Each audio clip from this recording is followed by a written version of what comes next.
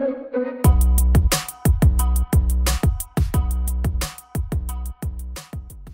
Sebuah video yang menampilkan adanya perubahan nama beranda pada situs resmi Dewan Perwakilan Rakyat atau DPR ramai di media sosial pada Kamis 8 Oktober 2020. Dalam video berdurasi 15 detik itu, situs resmi DPR www.dpr.go.id tertulis Dewan Pengkhianat Rakyat Republik Indonesia. Sebuah video yang menampilkan adanya perubahan nama beranda pada situs resmi Dewan Perwakilan Rakyat atau DPR ramai di media sosial pada Kamis 8 Oktober 2020. Dalam video berdurasi 15 detik itu, situs resmi DPR www.dpr.go.id tertulis Dewan Pengkhianat Rakyat Republik Indonesia. Video itu diunggah oleh akun Twitter @melatika underscore. Saat dikonfirmasi, Sekjen DPR RI Indra Iskandar membenarkan kabar diretasnya situs resmi DPR RI tersebut. Menurutnya, upaya peretasan ini sudah dimulai sejak Senin 5 Oktober 2020 sekira pukul 7 malam. Indra menjelaskan saat ini kondisi situs resmi DPR belum pulih total karena mereka harus memagari ribuan virus yang dikirimkan oleh oknum-oknum tertentu yang tidak bertanggung jawab. Ia menambahkan ribuan virus itu dikirimkan untuk melumpuhkan situs resmi DPR. Meski begitu, pihak DPR telah bekerja sama dengan sejumlah instansi guna memproteksi laman resmi dan memperbaiki sistem. Perlu diketahui saat ini DPR tengah menjadi sorotan masyarakat lantaran mengesahkan Omnibus Law RUU Cipta Kerja menjadi UU dalam waktu yang relatif singkat.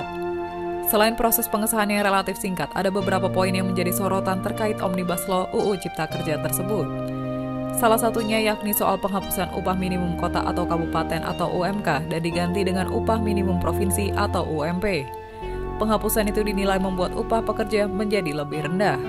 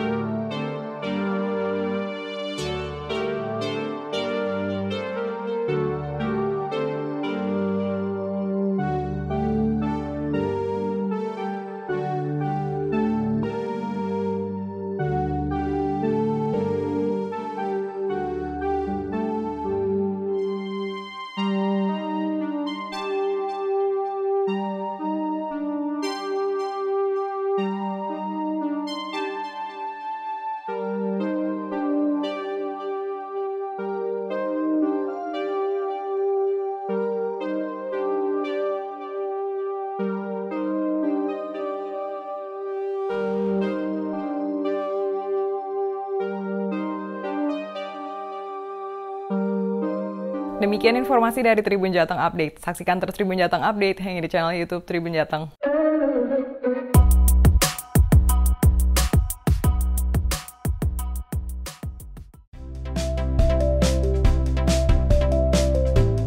Jangan lupa subscribe ya.